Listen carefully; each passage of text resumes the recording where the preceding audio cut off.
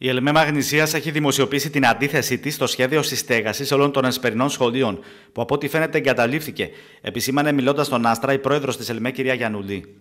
Σε ανακοίνωση της ΕΛΜΕ, πάντως, επισημαίνεται, εκφράζουμε την έκπληξή μας για την αιμονή στο ζήτημα της μεταγκατάσταση εσπερινών σχολείων, με διαφορετικές, αλληλοανερούμενες προτάσεις εκδοχές, που αποδεικνύουν ότι δεν προηγήθηκε ούτε διαβούλευση ούτε κάποια οικονομοτεχνική τεκμηρίωση. Η τελευταία πρόταση εκδοχή αναφέρεται στη μεταγκατάσταση του Εσπερινού Γυμνασίου και τη συστέγασή του με το δεύτερο ΕΠΑΛ Βόλου, η οποία υποτίθεται ότι εξυπηρετεί παιδαγωγικούς λόγους τις συνθήκες εργασίας των εκπαιδευτικών και την εξοικονόμηση πόρων.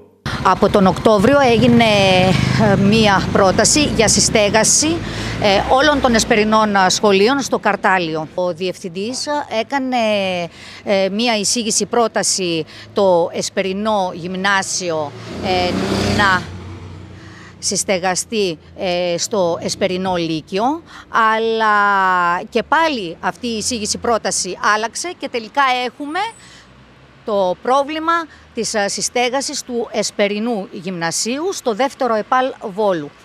Και το θεωρούμε απαράδεκτο γιατί δεν μπορεί να ξεκινήσουμε στο όνομα της εξοικονόμησης πόρων, όπως λένε, γιατί αυτό είναι, ε, αυτό προφασίζονται, ε, λοιπόν να συστεγαστεί το Εσπερινό Γυμνάσιο στο δεύτερο ΕΠΑΛ Βόλου. Δηλαδή από τα δημόσια σχολεία θα ξεκινήσουμε το θεωρούμε απαράδεκτο. Και μάλιστα εδώ πρέπει να τονίσω ότι όλοι οι σύλλογοι διδασκόντων όλων των εσπερινών σχολείων είναι αντίθετοι σε αυτό. Ε, υπάρχουν και άλλες λύσεις, όπως ενεργειακή αναβάθμιση σε όλα τα δημόσια σχολεία. Αυτό έπρεπε να γίνει. Να γίνει, να ξεκινήσει η ενεργειακή αναβάθμιση, όπως είχαμε πει στο τρίτο γυμνάσιο ε, Βόλου, όπου στεγάζεται και το Εσπερινό.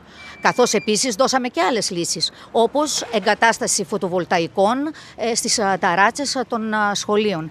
Είναι απαράδεκτο να γίνεται τέτοια συζήτηση με μια οικονομοτεχνική μελέτη στο πόδι, μπορώ να πω. Καλούμε τον Διευθυντή Δευτεροβάθμιας, καθώς επίσης και τον Δήμο, να αφήσουν κατά μέρος αυτής της σκέψης και να κοιτάξουν να αναβαθμίσουν ε, τα σχολεία και ε, τις κτηριακές υποδομές να τις βελτιώσουν. Το θέμα αφορά και σε άλλα σχολεία, συμπληρώνεται στην ανακοίνωση της ΕΛΜΕ, η οποία καλεί Διεύθυνση Δευτεροβάθμιας Εκπαίδευσης και Δήμο Βόλου αντί για παιδαγωγικά σχέδια μετακομίσεων να βελτιώσουν ουσιαστικά τις υποδομές και την ενεργειακή απόδοση όλων των σχολείων.